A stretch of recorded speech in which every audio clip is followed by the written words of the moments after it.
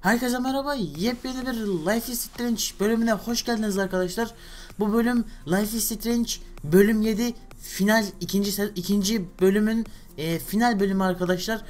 Mükemmel bir final oldu. Çok tuhaf bir ama çok güzel, çok kaliteli bir final oldu arkadaşlar. Her neyse daha fazla spoiler vermeyeyim sizlere.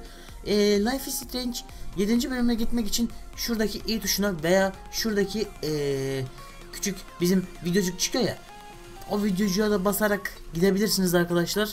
Ee, veya açıklama kısmındaki linke tıklayarak da gidebilirsiniz arkadaşlar. Ee, bu bölümün sonuna geldik. Sizlere Life is Strange videosunda iyi şeyler dilerim. Tekrar söylüyorum gerçekten çok güzel, mükemmel bir final oldu arkadaşlar. İkinci episod çok güzel bitti. Ama ikinci yani ikinci episod çok güzel bitti arkadaşlar. Ee, iyi seyirler.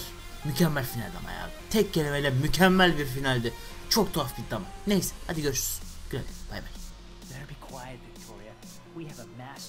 İn İspiyoncu ve yalancı var. Şerefsiz doğruydu. Ve paparazzi.